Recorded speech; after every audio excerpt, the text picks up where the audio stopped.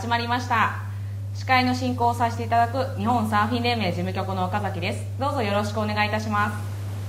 また本日のゲストに広報委員会の平本さんにお越しいただきました。はい平本です。よろしくお願いします。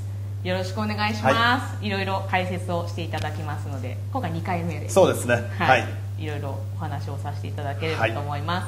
はい、はい先日ですね、えっと、主催大会第2戦のジュニアマスターズ選手権大会が開催をしましてなんと250 290名のエントリーがありましたね。そうですね。びっくりしましたね、はい、290名のエントリーのうちシニアマスタークラスが過去最高の106名がエントリーしました。まあ熱い大人が多い証拠なんでしょうかね。そうですね、はい、ラウンド1が、えっと、20 24ヒートです4ヒート、はい、ファイナルまで行くのには5回戦って初めて。ファイナルラウンドです、ね、はい、はい、ファイナルということで、えー、すごいそうですね。なんか熱い戦いがですね、はい、繰り広がりましたね。はい。コンディションはいかがでしたか？非常にあの、まあ、ちょうどよく台風4号5号が来て、まあ、そのうねりをこう期待してたんですがさーっと足早に去って、まあ、あの非常に蓋を開けてみると膝ももまあセットの波で腰ぐらいのコンディションで非常に厳しい状況でしたね。そうですね、はい、静岡県の静波海岸で今回は開催をさせていただきました、はい、はい、それではですね今回は大会の映像を用意してますのでコンテストが、えっと、2日間にわたり開催はさせていただいたんですけれどもそちらの、えっと、開会式から、えっと、ヒート中のライディングからまた表彰式までの映像がございますのでそちらの方一緒にご覧になっていただければと思います。はい。VTR の方どうぞ。選手権大会の開会式競技説明の方を始めます。それではまず開会宣言を日本サーフィン連盟静岡2区支部長の金森博さんにお願いしたいと思います。ですね。拍手お願いします。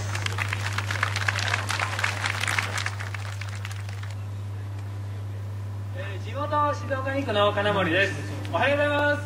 そうです。ねえー、皆さんおはようございます、えー、元気な姿を見れて、えー、嬉しいです。えー、第20回ジュニアオープンサーフィン選手権大会第9回マスターズオープンサーフィン選手権大会、えー、開催にあたり主催者を代表して、えー、挨拶をいたします。ようこそ牧之原市へいらっしゃいました、えー、今回第20回のジュニアそれから第9回のマスターズ、えー、オープンサーフィン選手権大会をこの静波海外で、えー、開催をしていただきましてありがとうございます。えー、今回ニカラグアで行われる世界マスター選手権には NSA として初の参加となります、えー、この後ろのメンバーが、えー、昨年のポイントランキングで勝ち上がった、えー、メンバーでチームジャパンとして、えー、ニカラグアに参加いたします選手一同はスポーツマンシップにのっとり最後まで諦めずに正々堂々戦うことを誓います。平成24年6月23日選手代表黒川日奈子。さあいよいよ始まりましたね。はい。さあマスタークラスのラウンド1ですよね、はい、さあいいラウンドポイント。大会中はスリーポイントでポイントをそうですね。はい。もうあの2日間でやれるもう限界の人数、まあ、300人近いんでもうやむを得ないですよねスリーポイントっていうのは。スリーポイントで大会を開催します、はい、まあ、こうやって見るとこれおそらく潮が上がってる時間ですかね。非常にまだ始まったばかりは非常にいいコンディションというか、まあ、それなりに技もあの2発3発と繰り出せるようなコンディションでいいスタートではあると思うんですけどね非常にこれマスタークラスの選手ではないですよね。これはジュニアのクラスかな。はい、はい、天候にも1日目そうですね。初日恵まれてこちらジャッジスタンドの模様ですね。はい。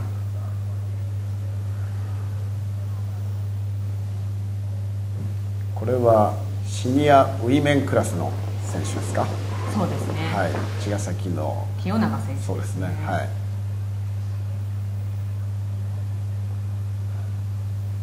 ジュニアマスターズ選手権大会で最年少の子は選手の方は9歳。そうですね、はい、今回9歳。で最年長の方がグランドカフラクラスで60歳。で参加い。ただい。てい。る逆転に必要なポイントは1.7から子供までそうですね。幅広い年齢層が楽しめる大会だと思うんですけど。残り時間の方がキットの選手がライトウェイさあこれはもう加工の大会2日目の映像でしょうかね。はい。これガールズクラスの黒川さんのライディングですね、はい、結構あのこの時のこれセミファイナルじゃないかなと思うんですけど結構高得点が出てたような気がしたんですが、はい、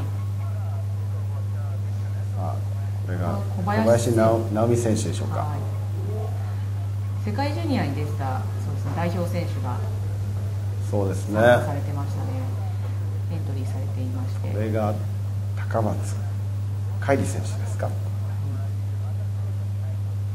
さあパンチの効いた2リエントリー。素晴らしいライディングですね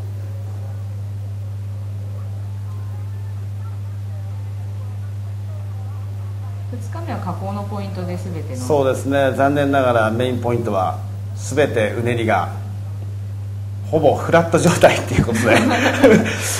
誰一人としてあのフリーサインできるような状況じゃなかったんで、ね、まあ、この加工ポイントがあってなんとか今回大会成立できたかなというところでは、はい、本当救いの神でしたね、はい、このポイントが。佐子選手ですね。ジュニアクラス優勝されました、ね、非常にあの看板な波ただこの時は非常に潮引いてたんで結構リッピングカインドのいいコンディションだとは思うんですがさすがにやっぱ若い世代の選手っていうのは生きがいですね。というところでいきなりこれマスタークラスの選手ですね。静岡に行くの皆選手でしょうか？宗正選手ですね。そうですね。彼ももう NSA のコンテストではもう常連ですよね。そうですね、うん、ファイナルにいつも来られてる選手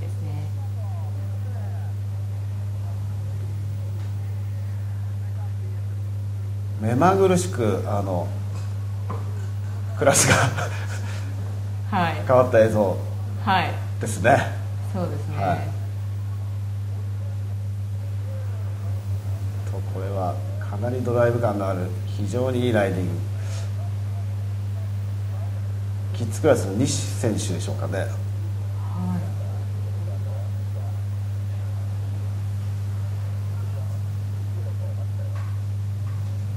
だんだん波のサイズの方がそうですね潮が引いてきてある程度もう引き切ったような状況になった時にはもうかなりサイズ落ちてきちゃいましたからねで午後になってあの恩師はどんどん吹いてきて潮が上げればまた朝の状況いい状況になるのかなと思ったら残念でした、非常にあの恩師はでナビが潰されてちょっとあいにくのファイナルになったと思うんですけど、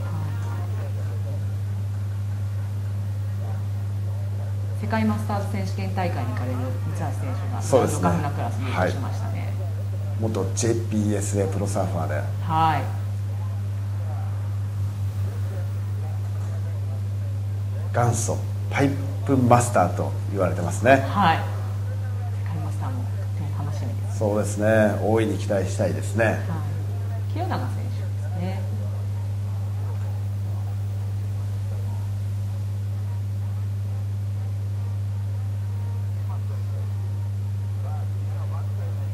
さあバックハンドの 3D エントリー。ガールズクラスですねこのクラスも世界ジュニア代表の選手が2人ですか？ね、黒川さんと田代渚選手。はい。さすがに世界ジュニア選手権大会で日本の国別順位として5位という好成績を収めた選手ならではで、ファイナルまで残られてましたね、この2人の選手の一騎打ちになるのかなと思ったらやはり非常にまたサイズがな朝に比べて非常にコンディションを落としちゃってしまったんでやっぱりあの体重の軽い小学生の小山選手小山選手ですねはい優勝されましたね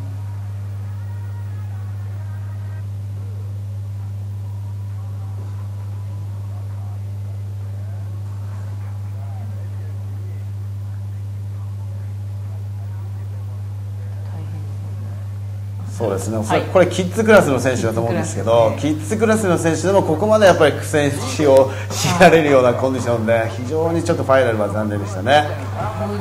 はい。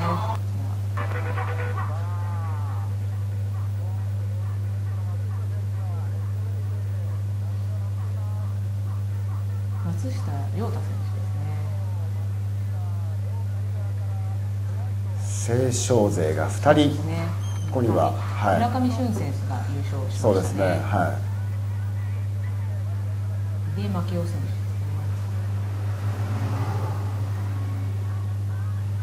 このマスタークラスも全員ファイナリストは静岡の選手ということで、はい、伊豆対静岡2区3区の選手の戦いでしたね。そうですね。シニアマスターのそうですね。彼も世界マスターの代表の原安住君ですね。はいはい、さあ優勝の原口選手に大会会長の世界初トロフィーと表彰状がそして皆さん2日間ね、はい、大きな怪我もなく、えー、トラブルもなく波はちょっとちっちゃかったですけどね皆さん素晴らしい強いられましたねはい。まずは地元の話の皆さん、えー、市長の皆さん市長の皆さん観光協会の皆さんありがとうございましたそして地元のローカルスタッファーの皆さんそしてスタッフの皆さんもお疲れ様でございました。選手の皆さんもお疲れ様でした。また来年、ね、そうですね。できるまあ雨も降らず、ね、できることを願いつつぜひあの牧野選手の皆さんよろしくお願いします。また来年ここでお会いしたいと思います。とりあえずこれで全ての演技終了します。皆さんお疲れ様でした。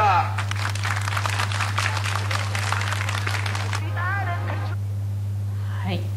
ご覧になっていただいた通り2日間の大会で開催をさせていただきました。はいはい、まあ、あの見てもらった通りのあの波のコンディションなんですけど、まあ、あのやはりあのファイナルに残られて優勝に絡んでくるような選手はやはり、まあ、波のコンディションが非常にあの軽い波で非常にラフなコンディションなんでやっぱ湘南静岡勢のやっぱあの普段からこういう日常的に波があるようなところっていうのところの選手っていうのは非常にやっぱり活躍が目立ったっていうのはすごく率直な印象ですね。すね。はいはい。次は続いて優勝者のインタビューを。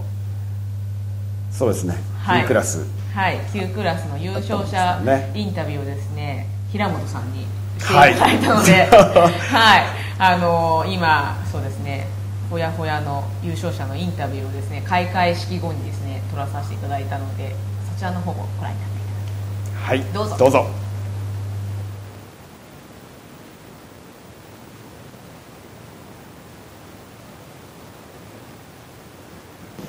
キッズクラス湘南茅ヶ崎支部森裕二。はい優勝おめでとうございます。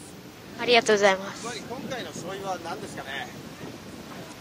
最初にあの家族とかなんかいろいろアドバイスとか大丈夫だよって言ってくれた。それで励み。に強く信じたことが。はい、はい。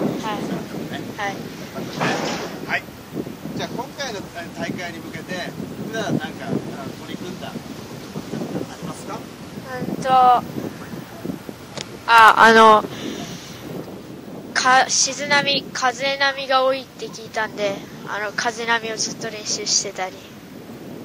はい。はい。はい。えー、こちらであと今後の大会に向けての抱負をちょっと聞かせてくれるうん全日本優勝します。はい。はい。わかります。最後に応援してくれた方へのメッセージをお願いします。全日本絶対優勝するんで、優勝します。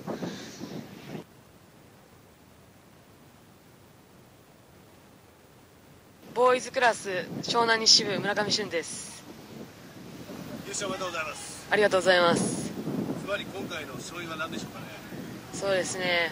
その波選びだと思います。波選び。はい。じっくり待ったね。はい、はい、最初ハラハラしたけど。はい。今回の大会に向けて普段なんか取り組んだこといや静波って聞いてたんでまあこの良くない状況の波は練習しました。はい。ちょっとナンパじゃないはい。ちょっとなんかたるいたるいイメージがあった、はいえー、今後の大会に向けての抱負をちょっとお聞かせくださいそうですね、まあ、この勢いに乗って NSA だけ NSA だけじゃなく他の大会もいい成績残せたらいいなと思っています。頑張ります。はいありがとうございます最後に応援してくれた方へのメッセージをお願いします。応援してくれた方々ありがとうございました。今回優勝できてよかったです。これからも応援よろしくお願いします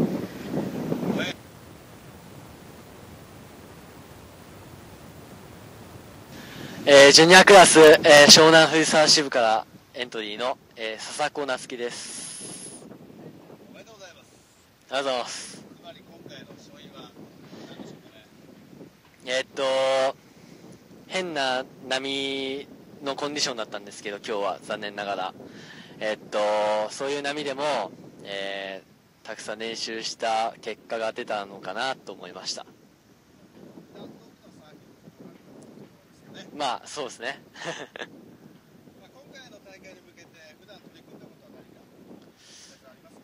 えー、っと、試合に向けて、集中して練習したり、あとは、まあ、戦術とかを、まあ、研究したりしました。はい。えー、っと、どんな大会でも、えー、優勝できるように努力したいです。はい、その言葉を信じてます。はい。最後に、応援してくれた方へのメッセージをお願いします。えー、っと、応援してくださった方々、本当にありがとうございました。えー、っと、次も頑張るので、応援よろしくお願いします。はい、ありがとうございます。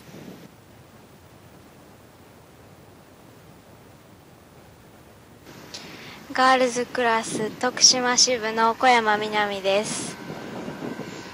優勝おめでとうございます。ありがとうございます。今回の勝因は何でしょうかね。前回大会に行った時にあまり波が取れなかったので今回は波取りに頑張りましたはいえと今回の大会のに向けて普段なんか特別取り組んだことって何かありますか？といつも普段は大会に向けてできるだけ数を乗るようにしています。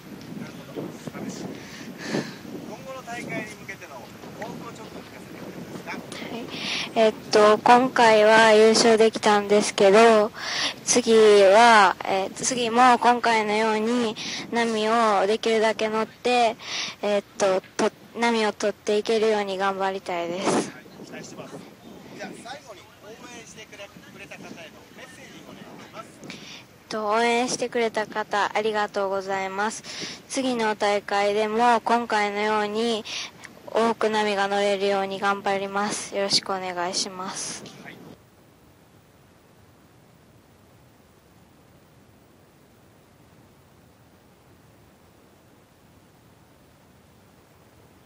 い。深夜マスタークラス静岡伊豆支部原安住です。おめでとうございますありがとうございます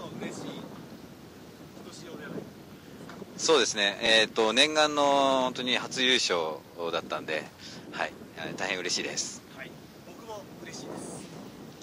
あれあの今回の勝因はズバリ何でしょうかね。そうですね、やはりこう、まあ、自分の思ったところを信じて、えー、例えば波を待ったりとか、えー、勝負をかけるったところが、えー、勝敗につながったかなと思います。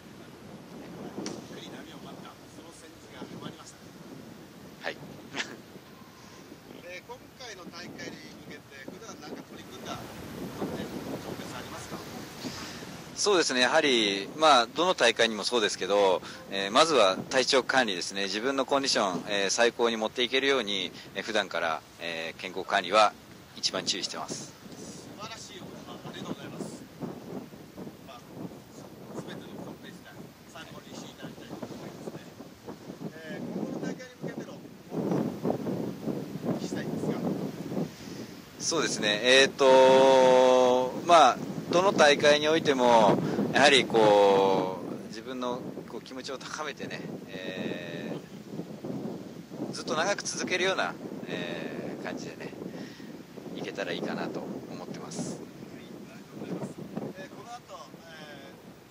選手権を控えてますがそれに向けての意欲をいただけますか？はい。えっ、ー、とまあ今回日本から初の、えー、派遣ということなんで、えー、何としてでもこうね、えー、日本をアピールできるような、えー、何や何らかの役に立つような大会にしていければいいかなと思ってます。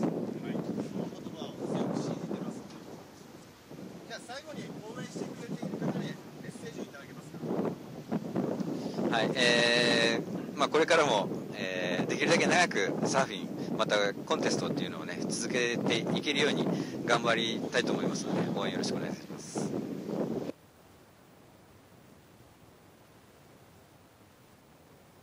えー、グランドカフナクラス、えー、茅ヶ崎支部三橋圭一です、はい、おめでとうございます。ありがとうございます。ずばり今回の勝因は波運ですね。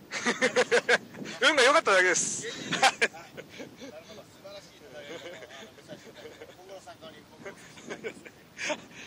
あの今回の大会に向けて普段取り組んだこと特に何かございますかね。ああのなんかあるとかっこいいんですけど、はい、正直言って何にもないです。申し訳ないです。すいません。そうですね。はい、はい。えー、今後の大会に向けての抱負を一言お聞きしたいんですが、えー、出るからにはもうやはり、え頂点を狙いたいです。でできる限りあの上位を自分をあの持っていけるようにモチベーションを常に高くキープしておきたいです、はい、このこの後あの世界戦を控えてますが、はい、世界戦への向けてのあの抱負でも。そうですか、はい。えー、世界選手権はあの自分にとってももう今までにない大きなチャンスなので自分の持っているものを全て出し切って良い成績につなげられればと思っております、はい、力強い言葉ありがとうございます、最後に応援してくれた方へのメッセージいただけますかはい。えーと、地元の茅ヶ崎の特に、あのーえー、ローカルの茅ヶ崎支部の皆さんに本当に感謝しております、えー、私はあのー、周りのそういう人たちの力に支えられてここまで来ましたので、えーえ皆さんの期待に応えられるように精一杯頑張りたいと思っております。で全日本の、えサーフィン連盟の方たちの、え尽力もとても感謝しておりますのでそれの期待にも応えられればと自分で思っております。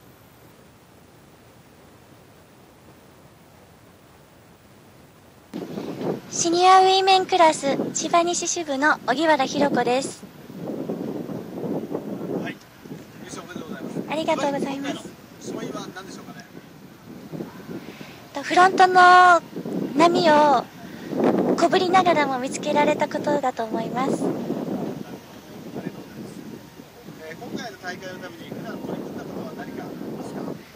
波の見る目を、あのつけるようにいたしました。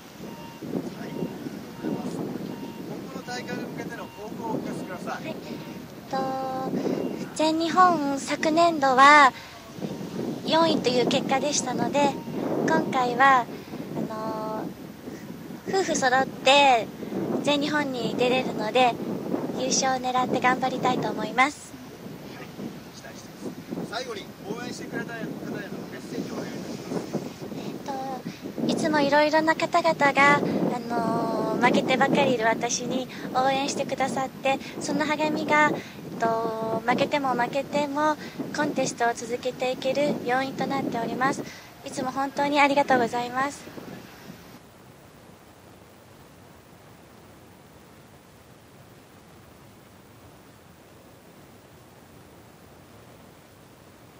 はい。えー、BB シニアシニアメンクラス千葉東支部柳瀬健二と言います。おめでとうございます。つまり今回の勝因は何でしょうかね？えっと、今回あの、ちょっとファイナルの時間を間違えてしまって 2, 2時間くらい前にあのファイナルのポイントに来てしまったんですけれどもその間ずっと波を見ていたのでそれでどんな波かっていうのをじっくり見ることができたのが良かったと思います。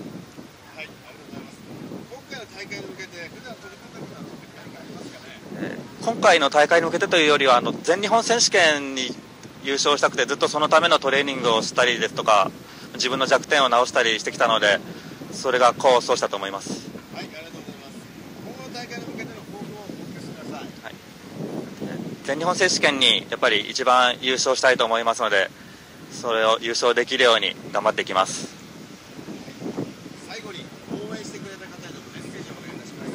去年準優勝でちょっと悔しい思いしてたので今回何としても優勝したいと思っていたので一緒にここまで来てくれた選手に感謝しています。ありがとうございました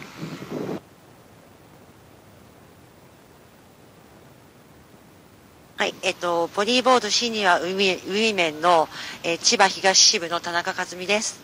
はい、はい、ありがとうございます。今回の勝因は何でしょうかね？今回の勝因ですか？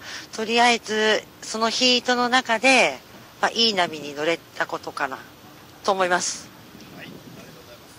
えー、今回の大会に向けて普段乗れてたことは何かありますか、はい、えっと、ち波が台風今回来てましたけれど、おそらく小さな波になるんではないかと思っていたので、まあ、先週はあの小さな波で一応練習をしました。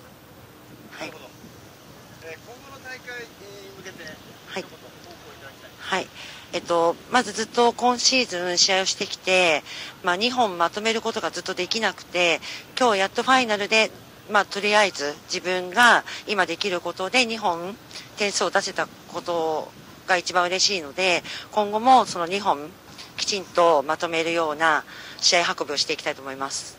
はい、ありがとうございます。はい。最後に応援してくれた方へのメッセージをお願いします。はい、えっと、本日、まあ、一緒にあの千葉東のチームオフィングの全員がファイナルに残ることもできてまたそのチームの方も応援くれてますし私の、まあ、子供も応援してくれているのでその娘や全員に感謝してお礼を言いたいですありがとうございましたはい優勝皆さんおめでとうございます。おめでとうございます。おめでとうございます。はい次回はですね主催大会第2戦としまして全日本選手権大会が開催をされます、はい、で三重県志摩市河野浜海岸で8月の22日から8月の26日まで開催されます。こちらの方渋予選が続々と終わっているような形なので全日本に向けて皆さん頑張っていただければと思います。また事務局からお知らせですこちらにもあります世界マスターズ選手権大会。